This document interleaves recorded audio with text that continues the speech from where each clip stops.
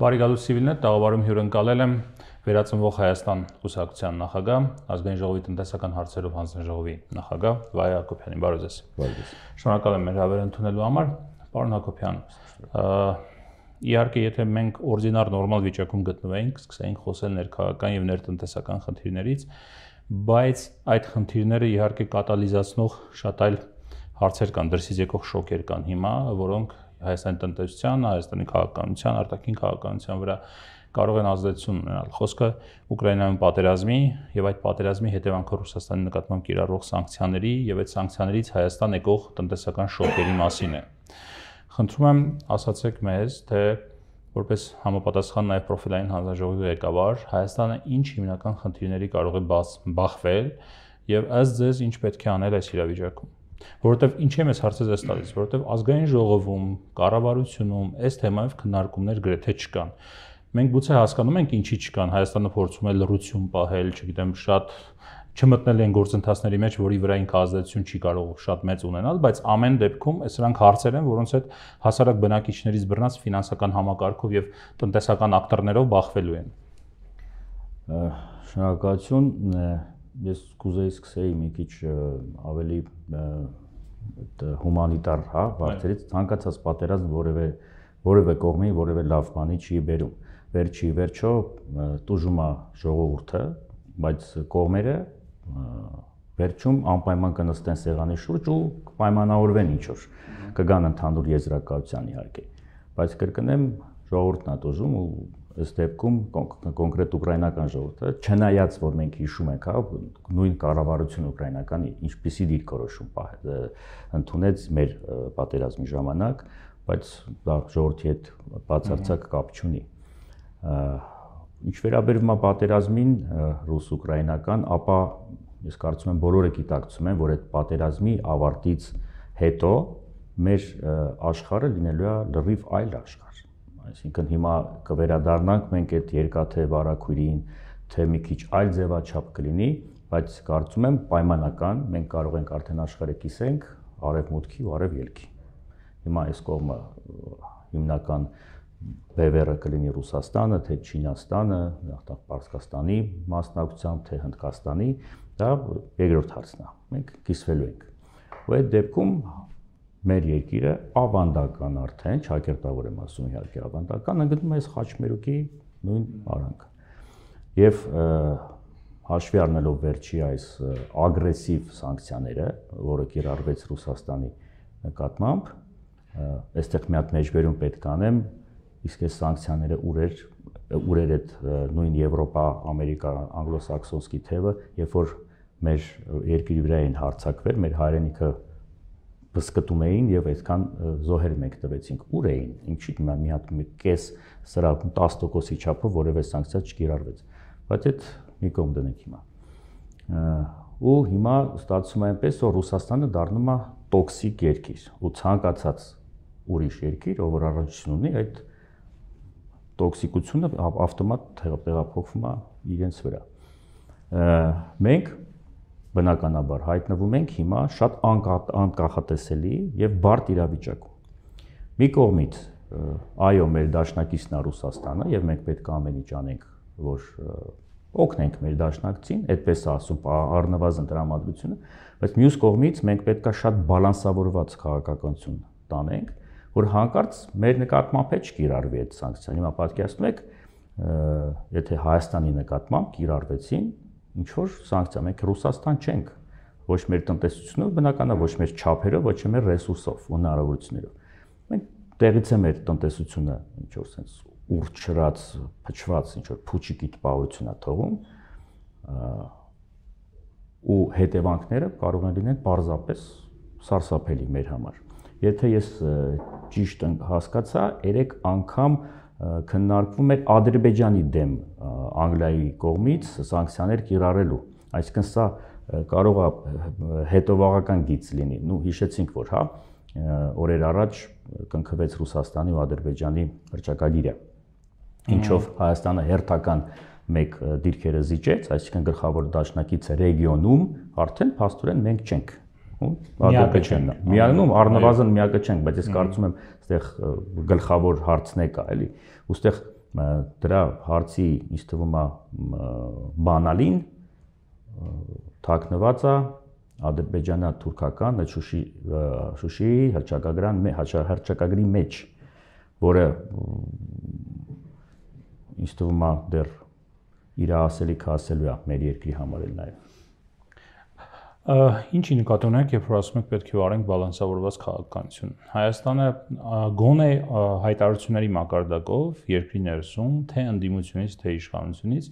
մենք այս պահի որևէ արենցիրների մասին խոսք չենք լսում, այսինքն ինչ քաղաքականություն պետք է վարի Հայաստանը։ Իշխանությունը լռում է գուցե նաև հասկանալի պատճառներով որ կարծես ոչ մի բան տեղի չի ունենում եւ այսինքն մեկ-մեկ խոսում են նրա մասին, որ հնարավոր են իհարկե տնտեսական հետևանքներ Ռուսաստանից փոխածվող շոկերի տեսքով։ Ընդդիմությունը եւս դրա մասին հարցեր չի հնչեցնում ազգային ժողովում։ Սա ինչ որ առումով այսպես ինչով է պայմանավորվում նաև ընդդիմության հետ պահվածքը, ըստ ձեզ ընդդիմության պահվածքը պայմանավորված է մեկ բանով, այսինքն մենք հիմա մշակում ենք այդ մարտավարությունը, քանի որ մի քանի օր անց է ու անգամ մեր համար էլ էր անսպասելի, հա, ինչ որ միտեղ եւ բոլորը, ну ինչ չթաքցնենք այդ թվում մենք սպասում են հանգուցալուծմանը։ Մենք ցային ճանապարհով հանգուցալուծման։ Ինչով չէ, առհասարակ որ ճանապարհով է հանգուցալուծվելու, երբ որ հանգուցալուծվեց այս խնդիրը, ինչպիսի կողմերը ինչպիսի դիրքերում են կանգնելու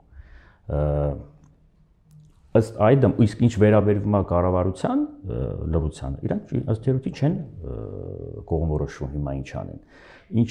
վերաբերվում է բալանսավորված քաղաքականությանը տեսեք հիմա մենք բացառիկ հնարավորություն ունենք որպես հաբ հանդիսանանք եւ տնտեսությանը ինչ որ մի հատ ռեալ հնարավորություն տանք աշխատելու, շնչելու։ Այսինքն Հայաստանի միջով ինչ որ բաներ անցնեն գնան։ Այո, տեսեք Ռուսաստան եւ հակառակողություն։ Միանշանակ, միանշանակ ու արդեն մենք տեսնում ենք, որ մի հատ ահռելի հոսք կա Ռուսաստանի կողմից, որտեղ բիզնեսի, թե առասարակ ինչ որ ծրագրերի, մարդիկ ՀԿ-ներն են անգամ ստեղ բերում ու այստեղ մենք ունենք մի հատ ամեն առաջի խնդիրը օֆիսային տարածքներ։ Հիմա հյուրան իմ տեղեկությունով հյուրանոցներում տեղ չկա Հայաստանի ու օֆիսային տարածքները ոնց որ տակ կարկանդակների նման գնում է վարձակալության տակ։ Անկամ պատրաստ են գնեն տարածքներ։ Այսինքն չվարձեն, ուղղակի գնեն։ Այո, մարդիկ գալիս են, այնտեղ դե հիմա գիտեք ռուբլին ինչա դառնում, ով որ հասցնում է բերում է, ու այս ամեն ինչը կրում է անկայուն բնույթ։ Այսինքն մեր հիմա գլխավոր խնդիրը որպես թև 1 ԱԺ, հա, թև մյուս կառավարություն, սա ամեն ինչ անենք համակարգի։ Այսինքն հոսքերը կարգավորելն է, այսինքն երբ որ գալիս են այդտեղ։ Միանշանակ։ Հա, որովհետև տեսեք, հա, կառավարությունը ինչ որ բան հրապարակից էկոնոմիկայի նախարարությունը թե ինչպես բիզնեսը ռելոկացիա անեն Հայաստանում, այլ երկրներից, այդ թվում Ռուսաստանից, նշելով դրա ուրեմն Հայաստանի դեպքում դրա գրավչության կողմերը, բայց ամեն դեպքում ձեր ասած այդ հախուռնությունը իսկապես զգացվում է, որովհետև տարբեր ինչ որ ընկերություններ փորձում են միջնորդի դեր ստանձնել, այսինքն այդ այդ ծառայությունները մատուցել, ինչ որ խմբեր են ստեղծում Telegram-ներում եւ այլ եւ այլը, բայց այդ բանը կոորդինացիան այդ ամեն ինչի չկա։ Սա մեկ սա ինչ խնդիր է եւ երկրորդը ինչպես լուծել այս խնդիրը եւ երկրորդը տեսեք ամեն դեպքում մենք ԵԱՏՄ անդամ պետություն ենք Հայաստանը եւ པարզ է որ Ռուսաստանը կարող է եւ ոչ միայն Ռուսաստանը, այսինքն կարող է ԵԱՏՄ այլ երկրների միջոցով շրջանցել ինչ որ չափով սանկցիաները, ստանալ այլ տեղեկատվություն, չգիտեմ, ֆինանսական հոսքեր եւ այլ եւ այլը։ Այստեղ Հայաստանը ինչպիսի քաղաքականություն պետք է վարի ձեր ասած հանկարծ սանկցիաների տակ չհայտնվելու համար, որովհետեւ արդեն արևմտյան բավական հեղինակավոր մասնավոր, բայց այսպես ընկերությունների կողմից հայտարարություններ են տեղի ունենում, խոսքը լրատվական, խոսք ինչ որ հիմնադրամների կողմից հայտարարություններ են լինում, որ գիտեք, պետք է ԵԱՏՄ երկրների վրա էլ դրվի սանկցիաներ, որովհետև այդ երկրների միջոցով Ռուսաստանը կարող է շրջանցել սանկցիաները։ Ես կարծում եմ, ես ինչ որ ասում եմ բալանսավորված բան, նաև նկատի ունի եւ ԵԱՏՄ-ի շրջանակներում իհարկե, ու որ հապ կարող է հանդիսանա Հայաստանը։ Մի հատ հասարակ էլեմենտար օրինակ բերեմ մեքենաների արկուվաճառքի վերաբերյալ պայմանական եմ ասում մեքենաներ։ Բոլոր հիմնական մեքենա արտադրողները եթե ունեին գործարան անգամ Ռուսաստանում, դադարեցրեցին աշխատանքը եւ այդ կվոտաները, որ իրանք ուղարկում էին Ռուսաստան, փակեցին։ Բայց Հայաստանում մենք ունենք նույն ընկերությունների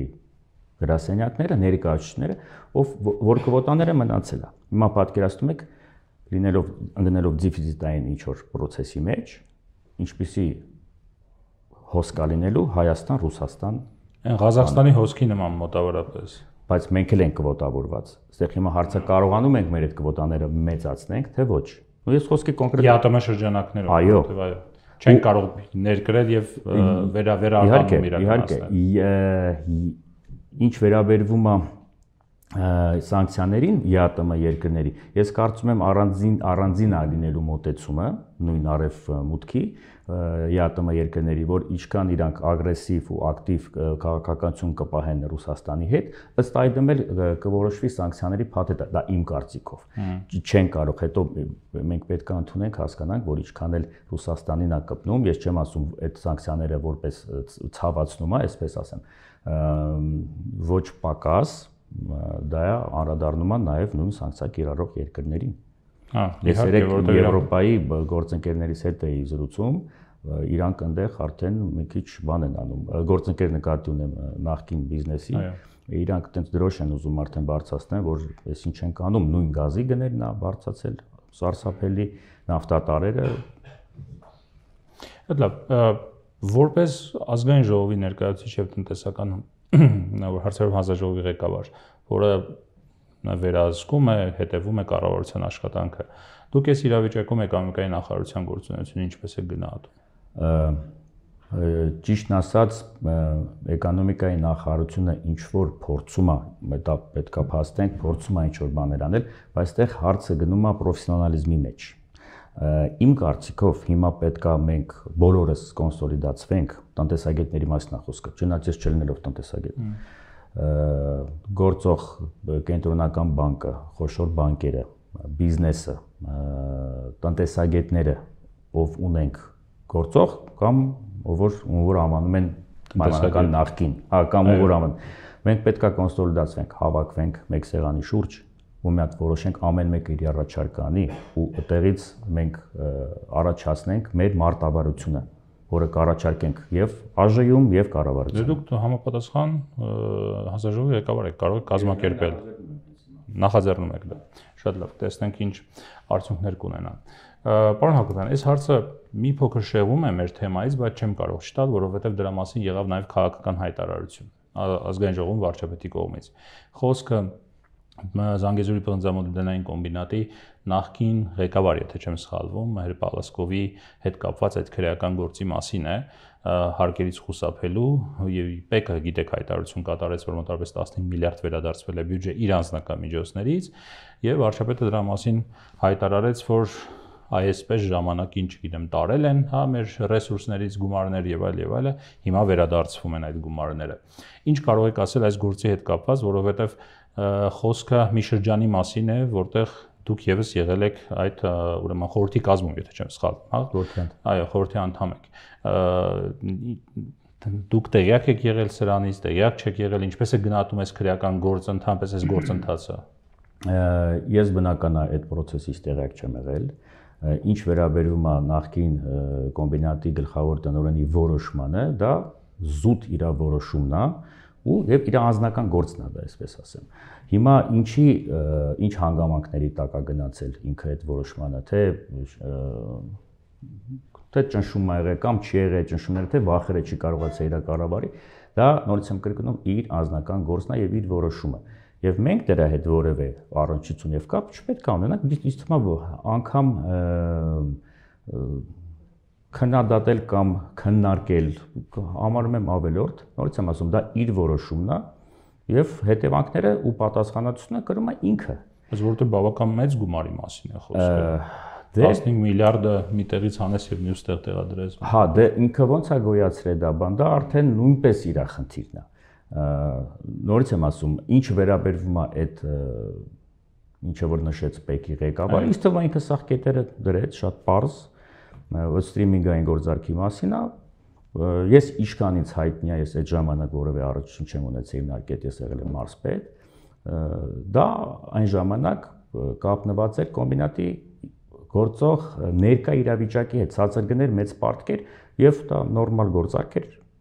որպեսի սթրիմինգային սթրիմինգային գիտեք ինչն է ինչ գործակ։ Իսկ երրորդ երկրի միջոցով իրականացվող։ Չէ, չէ, չէ, չէ, չէ։ Պարզ սխեմայա X ընկերությանը պարտավորվում ես 10 տարի կամ 15 կապ չունի X քանի տարի կա տարի մատակարար ես քո ապրանքը ինքը ինչ գումարը վճարում է սկզբից մեծ մասը նու կոպիտ ասած այսպես ինչ որ կոնկրետ գնով ես պարտավորվում է տարիների ընթացքում այո այո այո մատակարար ինքը ունի իր երաշխիքները մենք ունենք մեր նու ես դեպքում հիմնարկ ունի իր երաշխիքները դա է եղել ամբողջ խնդիրը Դե իրանք համարեցին ու կառավարությունը, որ այդտեղ ինչ որ խնդիր կա, այս կողմը համարում էր, որ չկա այդպես խնդիր, վիտոգի եկան այս եզրը հանգման։ Հասկացա։ Իրանց բարի ճանապարհ էսպես ասած։ Շատ լավ, իսկ հիմա ինչ է կատարվում կոմբինատի շուրջ։ Եղավ գործարք 60%-ը, եթե չեմ սխալվում, հա ակցիաների անցավ ռուսական ընկերությանը։ Դրան այդ ակցիաներից 15%-ը տրվեց կառավարությանը, որը հիմա անիֆն է կառավարում կոմբինատը նախ ակցիաներ ունի թե չունի հիմա, որովհետև երբ որ գումարում ենք, ստացվում է որ 15% կոմբինատը դեռ պահում է ակցիաներ, թե չէ ամբողջությամբ անցել է դա 15%-ը դա տեխնիկական հարց է, դա գերմանական է դեռ, որը մարվել է դեռ գերմանական է, որը քրոնիմետի մասն է խոսքը։ կոմբանի տեսքով մաքուր երկաթի մասով է ներկայացված, որը կմարվի 1 տարի հետո։ Ամեն դեպքում 15% դեռ կա կոմբինատի վերահսկողության տակ։ Եվ ընդհանրապես կոմբինատի չի վերահսկողության։ Ահա, գերմանական գերմանական ոնց որ փայամաս է ինքան։ Շատ լավ։ Դեռ ամբողջությամբ դուրս չի եկել, այսպես ասած։ Եվ ընդհանրապես ինչ ինչպես է գնահատում, ինչ է կատարում, որովհետև սա Հայաստանի ամենակարևոր ակտիվներից մեկն է, ամենաթանկար, հիմա հատկապես ամենաթանկարժեք ակտիվն է, որովհետև բղնձի գները հասել են 10000 դոլարը հատել են մոտենում են 11000 դոլարին, հա, միջազգային գները ընդհանրապես ինչ է կատարվում հիմա կոմբինատի շուրջ։ Տեսեք, քանի որ կոմբինատի շուրջ կատարված իրադարձությունները սկսած